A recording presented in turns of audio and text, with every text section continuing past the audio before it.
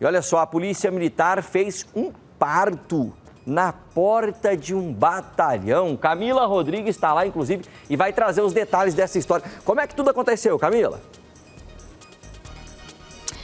Pois é, foi um susto que contou com o preparo do sargento Tyrone, que é do 42º Batalhão, da equipe do Tático, e foi esse preparo que ajudou essa mãezinha que chegou lá na porta pedindo ajuda às 5 horas da manhã. Vou deixar que ele explique essa situação, uma situação bastante inusitada e inédita para você, né? A primeira vez que você, que você viu uma situação como essa, mas não titubeou. Na hora que você viu a situação, você já deu apoio para essa mãe. Como é que tudo aconteceu, sargento? Boa tarde para você. Sim, boa tarde a todos.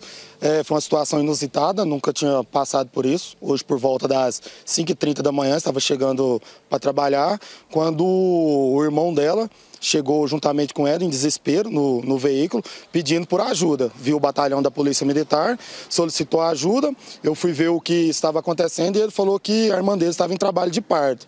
Aí, no momento, ele estava nervoso, a gente até tentou se dirigir até o hospital, mas a gente, ao sair com o carro, cerca de 30 metros, ela falou que não aguentaria, foi onde, bem na esquina mesmo do, do 42º Batalhão, é, já abriu a porta ali do carro e foi realizado o parto naquele local mesmo, graças a Deus, tudo correu bem. Foi a primeira vez, foi bastante inusitado. Foi emocionante também, porque assim, na hora que a gente está na adrenalina, mas depois que você conseguiu encaminhá-los para o hospital, que você parou para pensar, qual foi a sensação?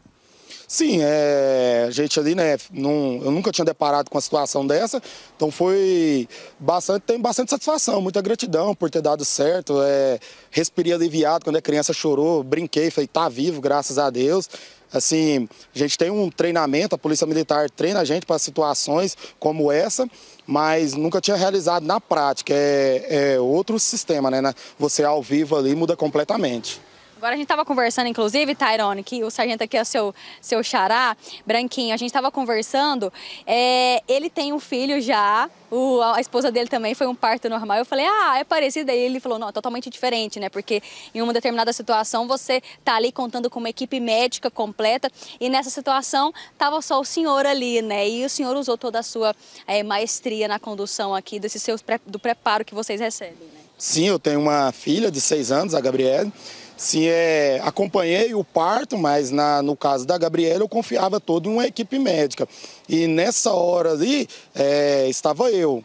É, o, eles chegaram pedindo socorro, eles confiaram na polícia militar, eu estava ali porque Deus colocou no momento. Então, assim, é uma imensa responsabilidade.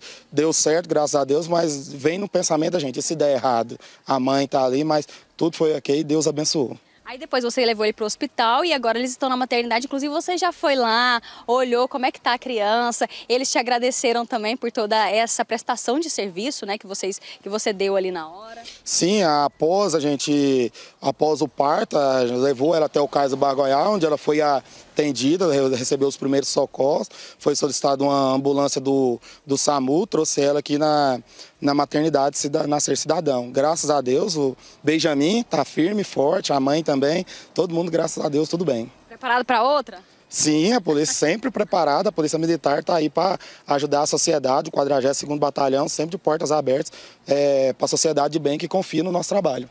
Muito obrigada pela sua participação, parabéns pela ação, parabéns pelo trabalho também de vocês da Polícia Militar. A criança, como o Sargento Tairone disse, passa bem, o Benjamin, um menino lindo, saudável. Eles estão internados aqui agora com medida protocolar mesmo do hospital, mas tem alta prevista para hoje ainda.